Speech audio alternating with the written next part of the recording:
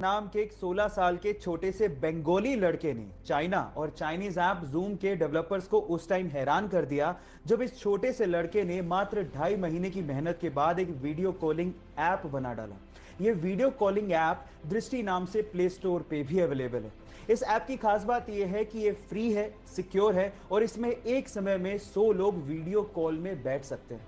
Guys अगर आप वाकई में मेड इन इंडिया का सपोर्ट करना चाहते हैं तो आप अर्नब मोदक जैसे इंडियन टैलेंट को आगे ज़रूर बढ़ाएँ और इस वीडियो को शेयर करें ताकि लोगों को इंडियन टैलेंट जियो के बारे में तो ज़रूर सुना होगा। जी हाँ रिलायंस इंडस्ट्रीज़ के मालिक मुकेश अंबानी की टेलीकॉम कंपनी की ही मैं बात कर रहा हूँ। लेकिन अगर मैं आपसे सवाल पूछूँ कि क्या जियो की भी कोई फुल फॉर्म होती है, या फिर ऐसे ही जियो और जिने दो लाइन से इन्होंने जियो शब्द को उठा लिया है, क्या आप जानते हैं? चलिए मैं आपको बताता हूँ। एक्चुअली जियो शब्द ऐसी किसी लाइन से नहीं उठाया गया है। इसकी भी एक फुल फॉर्म होती है। और इसकी फुल फॉर्म है जॉइंट इंप्लीमेंटेशन अपॉर्चुनिटी आप में से कितने लोग ये बात जानते थे? चैट सेक्शन में ज़रूर लिखेगा। और ऐसे अमेजिंग वीडियोस के लिए यूट्यूब पे। हमारे चैनल को सब्सक्राइब कर लीजिएगा।